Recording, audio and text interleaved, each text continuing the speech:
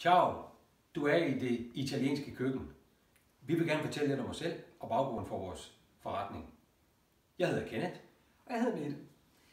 Vi elsker Italien, og vi elsker italiensk mad, øh, de skønne råvarer og det enkle og smagfulde køkken. Jeg har selv boet 10 år i Rom og arbejdet dernede som journalist. Og da jeg flyttede tilbage til Danmark, der øh, savnede vi rigtig meget af de her gode italienske øh, produkter. Der findes jo et hav af italienske produkter i Danmark, men øh, størstedelen af dem er de her øh, industrifremstillede produkter, der ikke smager så meget og der ikke har nogen historie bag. Så vi besluttede at rejse øh, rundt i Italien og har besøgt et hav af producenter og smagt os igennem øh, Italien for at finde det bedste af det bedste inden for hver kategori.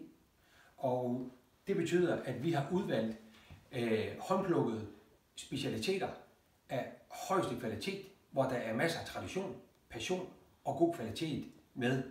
Så Fra små, ja, fra små familievirksomheder, ikke? Fra mindre familievirksomheder. ja, selvfølgelig. Øhm, så øh, nyd produkterne, besøg webshoppen og på gensyn.